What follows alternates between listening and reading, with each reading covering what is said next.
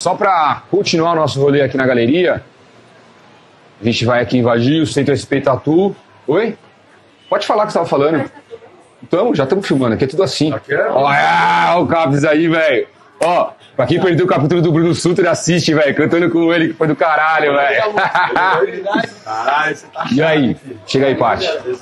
Ó, Ele é até católico agora. Nossa do céu, é o... que, que, que você vai fazer aqui no estúdio mesmo, Fernandão? Se liga. Vou, vou deixar esse cifrão bonito com essa tatuadora aqui. que tá fazendo ah, o favor e eu tenho o prazer de fazer com ela aqui, só porque realmente quer fazer, eu vou fazer. Aí, mano. Se liga. Então bora que nós vamos agora tatuar com o Fernandão aqui na galeria. Ó, seguinte, se não tiver pomada, eu não vou fazer não. hein? Agora eu vou falar um negócio pra vocês. Pomada e qual é rola, viu, mano? É isso aí, ó. Isso aqui, ó. Eu fiz sem pomada nenhuma, sem dar um pio, viu? É. E quanto mais você reclama, mais demora. É, e aonde você vai reformar agora? Vou fazer esse chifrão aqui. Palma da mão, meu irmão. Ei, eu vou fazer isso aqui. Essa mulher aqui. Você que tá me forçando, viu? Ah, é mesmo? Mas eu aceito, eu aceito. Eu aceito, eu aceito. É, bom, e co- como que você começou com tatu assim? Quantos anos você tinha quando você fez a primeira? Eu É? tinha 16 anos. 16. Daí você não parou mais, já foi diretão. É. Meu pai é um cara foda, mano. Ah, Eu cheguei em casa porque eu andava com os malucos lá do, do aeroporto, eles já tinham umas tatu do LED, né? ah tá. Já tinha LED tatu. Tatu do LED, é. Aí eu cheguei em casa e falei, ó, quero pegar uma tatu. Brigou comigo, xingou com o diabo. Aí, aí eu liguei pro meu pai e falei, ô pai, é o seguinte, quero fazer uma tatu. Ele falou, tatu, tatuagem mesmo? É. Ele aonde? Eu falei, pô, tem um, tem um estúdio ali na, na Revitu ali, era o Tatuyu na época. O Eric, ele tinha lá na Macá. Caraca, dói, hein, meu? Mas não vou dar. Ó, esse é o último truco do. Olha aí, meu. Aí, é...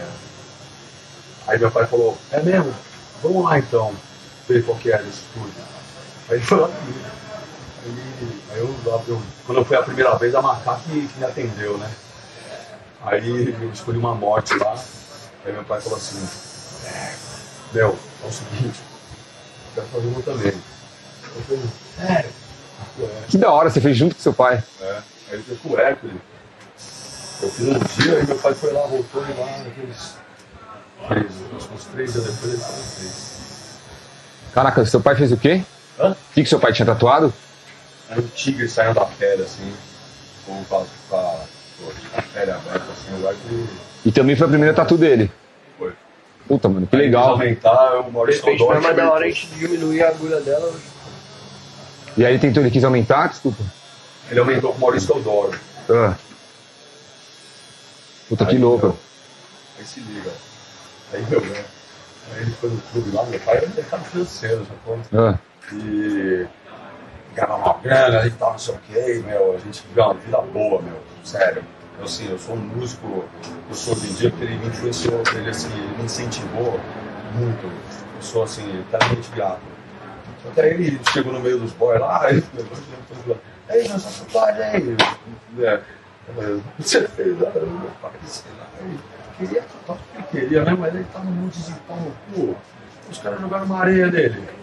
Ah. Pô, Meu, meu pai foi em 90 e. 90 e nada, mano. É, acho que foi anos 90, né? Ele foi lá e começou a tirar a beleza no tatu. Caramba, ele começou a tirar. Ele não falou pra mim, não, velho. Não? Caraca, mano. Mas naquela época não era muito comum tirar tatu. Era bem difícil, não tinha é muito, né? Faz uma. Faz um. Tipo um. Mostrou e falou: Meu, eu tô indo, né? Só tem que esperar cicatrizar, sei lá, quatro vezes. O bagulho faz um. É, na época, lá, não sei como é hoje em dia, mas o laser ia lá embaixo da, da, da tinta, fazendo tipo uma ferida. Caramba. Esse, o pus arrancava a tinta por fora pro. É, cicatrizando. Então, assim, mas ficou, ficou perfeito, velho. Caraca. É.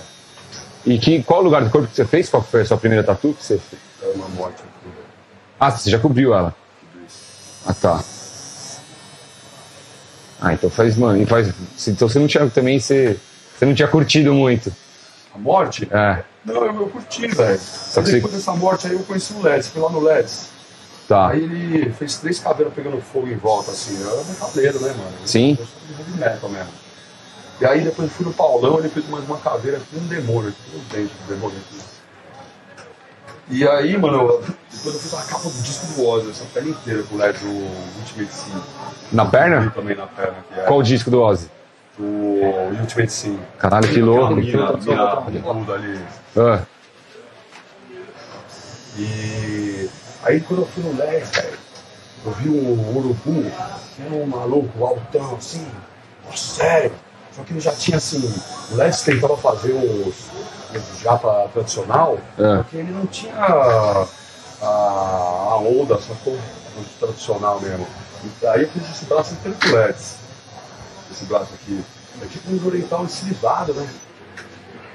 Caralho. E aí, mano, eu, eu comecei a fazer, comecei a fechar as paradas, fiz um dragão azul aqui com LED também, porque eu sou fã do Ozzy, o Ozzy tinha um dragão azul. Ah, sim, um pode crer. no braço, né? Caralho, que da hora você fez. É. E aí eu comecei a pirar no, no, no oriental. O Murilo, que era dono do Black, do Black Jack, ele tinha um samurai gigante nas costas. O Les que tinha feito, um louco o samurai. E aí eu falei, caralho, mano, eu quero esse bagulho japa mesmo. Sim. Me inspirava assim nessa época. Desde o do Olimpa lá, nos anos 90, os caras batiam todo mundo, inclusive o Lance. E nas rodas lá. Caraca. Só os monstros, mano. E eu era gordão na época lá, e era pra trabalho, né?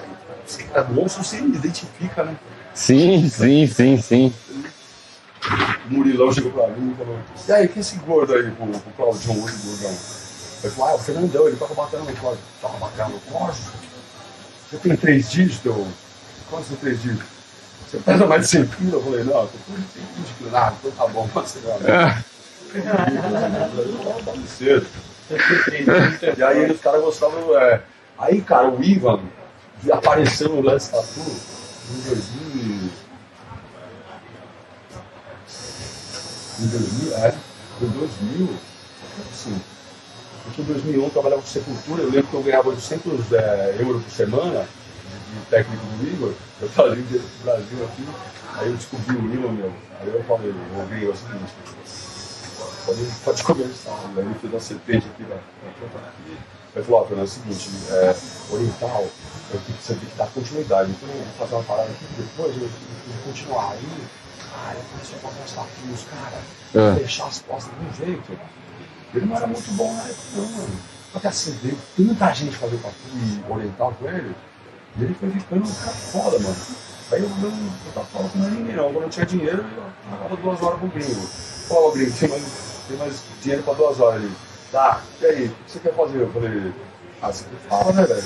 É, flor, né? Tem que fazer aí, você tem de coisa ali já. Tem que fazer fundo. O bagulho é preto, viu? Que ser preto. Eu falei, beleza, aí, aí a fazer os negócios já pra, pouca coisa e um bagulho preto. Não. O sovaco tem um dele e falou assim, pô, tem uma parte branca aqui, ó, chega aí. É muito preto. E aí, aguentou bem, hein, Fernandão? Cara... História. Caraca, mano, ainda bem que tá acabando. Olha, tá, falta pouco ali nesse. Você nem sabe tá cifrão. Ah, tá acabando, não tá? É, tá. Ó, a não ser que ela, ó. Não, mostra aí como é que você tava fazendo aí, é, de verdade. a não ser que ela que- queira fazer esse fundo aí agora. Mas não vai dar, né? Ô, Patrícia. Eu aguento. Ah, você Você aguenta, fácil falar, né? Eu aguento. Eu aguento. É. Aí, ó. Ó, Fechou? Uma satisfação aí, ficou foda. Ah! Aí a mão do Fernandão.